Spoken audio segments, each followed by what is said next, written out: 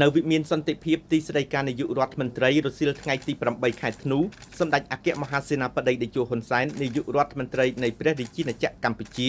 បានអនុញ្ញាតឲ្យឯកឧត្តមមីកាមីម៉ាសាហេរ៉ូដែលបញ្ចប់អាណត្តិបេសកកម្មការទូតនៅព្រះរាជាណាចក្រកម្ពុជាចូលជួបសម្ដែងការគួសមនិងជម្រាបលា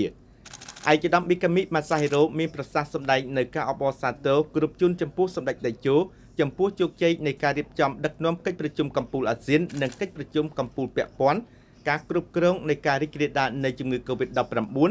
និងបានសម្ដែងនៅការគោរពចំពោះភាពដឹកនាំរបស់សម្ដេចតេជោទី1ការដឹកនាំកម្ពុជាឲ្យមានសុខសន្តិភាពជាពិសេសមានការអភិវឌ្ឍរីកចម្រើនយ៉ាងខ្លាំងក្នុងរយៈពេលជាង30ឆ្នាំកន្លងមក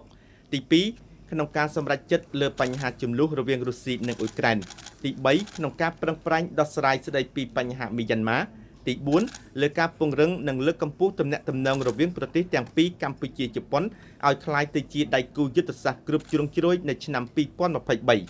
ឯកឧត្តមមីកាមីម៉ាសាហេរ៉ូមានប្រសាសន៍បន្ថែមថាបេសកកម្មការទូតរបស់ឯកឧត្តមនៅកម្ពុជាទទួលបាននូវការគោរពស្រឡាញ់រាប់អានពីគ្រប់ស្ថាប័នរដ្ឋនិងឯកជនរបស់កម្ពុជាជប៉ុននៅតែបន្តគ្រប់គ្រងកម្ពុជាហើយនៅពេលនេះ ជប៉ុនកំពុងតែចូលរួមបង្ហាត់កីឡាករកម្ពុជាដើម្បីចូលរួមប្រកួតកីឡាស៊ីហ្គេមនៅឆ្នាំ2023ជាការឆ្លើយតបសម្ដេចតេជោហ៊ុនសែនបានថ្លែងអំណរគុណជូនចំពោះឯកឧត្តមមីកាមីដែលបានធ្វើសកម្មភាពយ៉ាងច្រើនរួមគ្នារួមមានទី1ការរួមគ្នាជំរុញលើកកម្ពស់ទំនាក់ទំនងរវាងប្រទេសទាំងពីរឲ្យទៅជាដៃគូយុទ្ធសាស្ត្រគ្រប់ជ្រុងជ្រោយទី2រៀបចំឲ្យមានការចូលចតនាវាជប៉ុនចំនួន2ដងនៅកម្ពុជាទី3 រៀបចំឲ្យមានជំនួបរវាងសម្ដេចតេជោនិងឯកឧត្តមនាយករដ្ឋមន្ត្រីជប៉ុនចំនួន1ដងក្នុងមួយឆ្នាំទី3រៀបចំឲ្យមានការផ្លាស់ប្តូរដំណើរទស្សនកិច្ចរួមទាំងដំណើរទស្សនកិច្ចរបស់ឯកឧត្តមហ៊ុនម៉ាណែតទៅប្រទេសជប៉ុនផងដែរ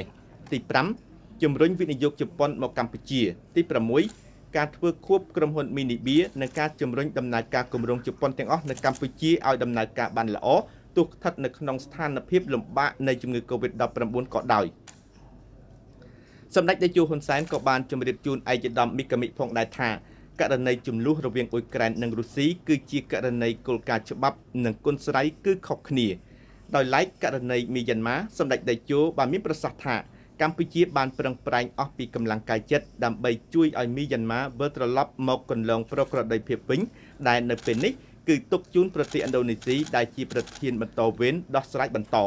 ជាទីបញ្ចប់សម្ដេចតេជោនាយករដ្ឋមន្ត្រីបានជូនពរឯកឧត្តមឲ្យទទួលបានជោគជ័យបន្ថែមទៀតនៅក្នុងបេសកកម្មរបស់ឯកឧត្តមនាពេលអនាគត។